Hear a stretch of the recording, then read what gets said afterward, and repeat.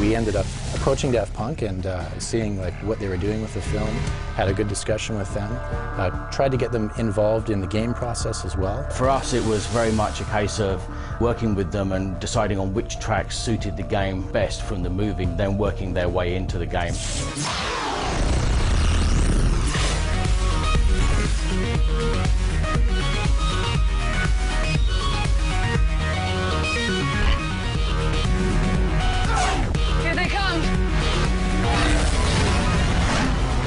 We had to go out and pick very specific composers.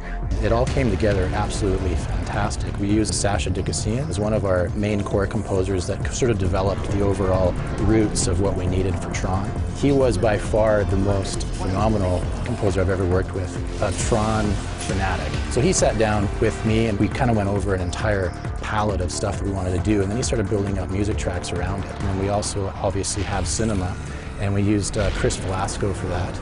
And we have some great ambient tracks that we had done with a fellow named Kevin Manthei. It's fantastic. It has a true sort of analog sense to it, very digitized as well. And the blend of all that stuff is great. You know, we have like a high-powered game. We have to have like in-your-face tracks. We have to have stuff that's very electronica. And then we also have sort of your overall spiritualistic kind of tracks with more of an analog flavor. Both films really sound played a very important role, especially music, in accentuating pieces. So we tried to use the same approach in Tron Evolution.